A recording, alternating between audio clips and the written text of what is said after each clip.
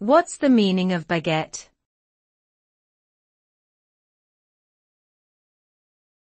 Baguette.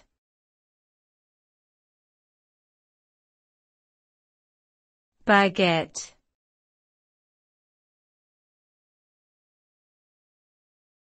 Baguette.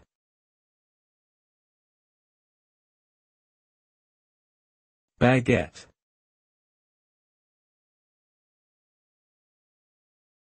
A baguette is a long, narrow loaf of bread that is typically associated with French cuisine.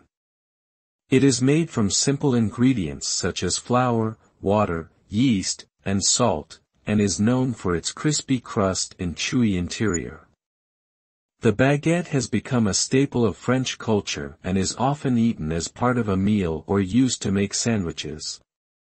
In recent years, it has also become popular in other parts of the world and is now available in many bakeries and supermarkets worldwide.